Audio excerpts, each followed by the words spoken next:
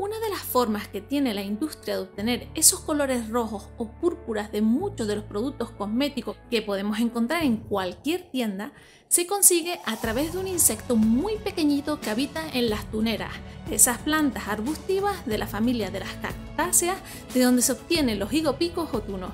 Hoy hablaremos de la cochinilla, un insecto del que se extrae el colorante de origen natural de gran importancia económica en las Islas Canarias en el siglo XIX. Estamos hablando del carmín y el ácido carmínico. Preparen las roscas, cotufas, millitos o floritas porque comenzamos.